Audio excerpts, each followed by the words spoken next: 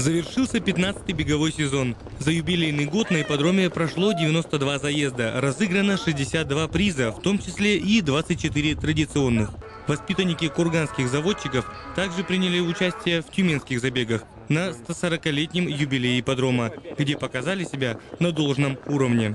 По словам директора Курганского областного ипподрома Владимира Дворянцева, в этом сезоне появилось много молодых наездников. показательное выступление детской спортивной секции. Ребята занимаются вот, контуром, потом в дальнейшем они переходят э, уже на конюшню уже и наездниками. У нас на сегодня все наездники, это все прошли через детскую спортивную секцию. Ребята с удовольствием наблюдают за грациозно скачущими лошадьми.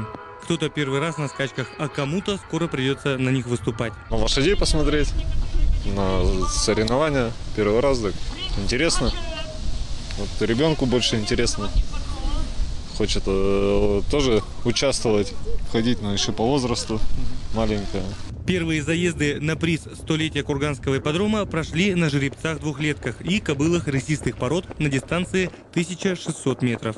Первой финишировала гнедая Патриция под управлением Ивана Наумова. Она установила новый рекорд – 2 минуты 10,2 секунды.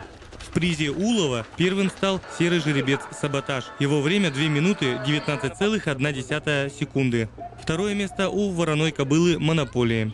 Заводчики Курганской, Челябинской, Тюменской и Свердловской областей разыграли пять традиционных призов. Провели соревнования по конкуру в легком классе и Всероссийский чемпионат женщин-наездниц памяти Марии Бурдовой. Всего в бегах приняли участие больше 30 жеребцов и кобыл рысистых пород.